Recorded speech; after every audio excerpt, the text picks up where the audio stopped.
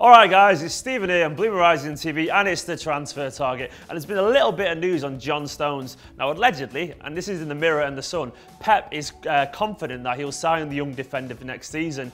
Everton allegedly also don't want to keep him for a second year in a row against his will. We all remember last year's um, transfer saga where Chelsea were bidding and bidding and bidding, but they kept refusing bids. And Koeman isn't happy with the idea of going into the season with a player who clearly doesn't want to be there, and he feels it'd be detrimental to his performances to keep him against as well, which leaves City in pole position if you believe what the papers are saying. Chelsea want him, United want him, but Pep believes that John Stones will see the light and realise that he could develop into one of the best young defenders uh, in world football alongside his uh, tutelage. Um, and I'll be honest, I think I initially had my doubts about John Stones, but it's pretty obvious Pep wants players to be a certain kind of defender for him. Not necessarily the best in terms of pure brute force or natural defensive instinct, but he wants them to be able to play in a certain way. If you think of Piqué, you think of Boateng, uh, Bayern, these are players who you wouldn't necessarily consider uh, a kind of pure natural defenders in the way that Vincent Kompany maybe is, but they are undoubtedly two of the world's finest uh, players in central defence. And it's because of their reading of game, their understanding. Now,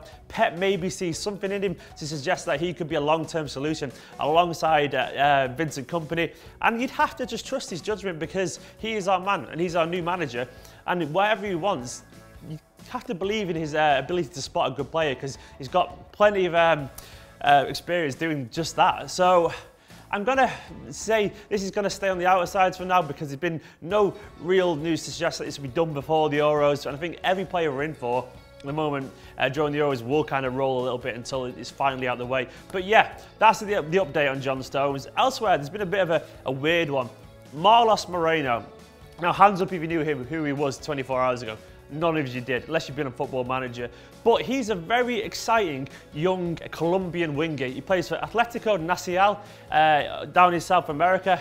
Not heard of him myself, but I've done a little bit of research. It's very skillful, very fast, very strong, scores goals, excellent technically very pep once again. Now, there's a BBC South American correspondent called Tim Vickery, and he said he's the most exciting young prospect he's seen since the emergence of Neymar, Alexis Sanchez, and our own Sergio Aguero, which is quite a, it's a massive accolade to say that, given all the talented players that have emerged from that continent in recent years.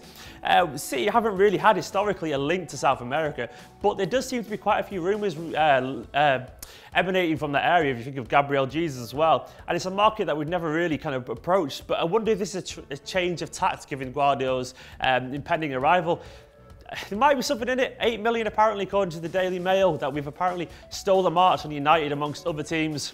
He'll stay on the outer rings for now.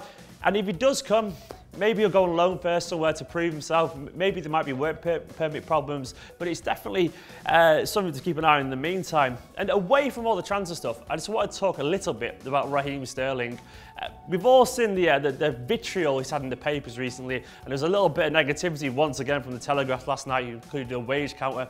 But aside from that, I've been really, really encouraged by the fact that Pep Guardiola allegedly rang uh, Sterling to offer encouragement when he was away at the Euros. He saw the fact he was feeling negative, and he got on the phone and he said to him, if you work hard for me, I will fight for you. You're a great player, you're in my plans, do not worry.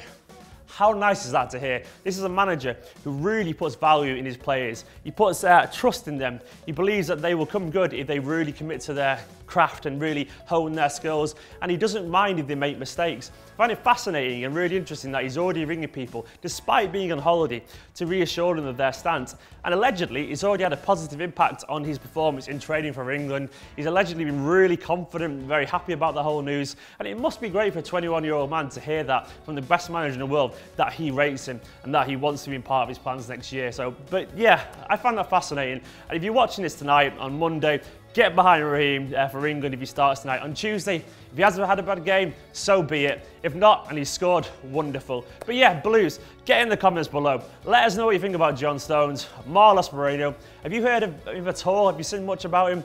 Pretty new to him myself, but he seems a very interesting prospect.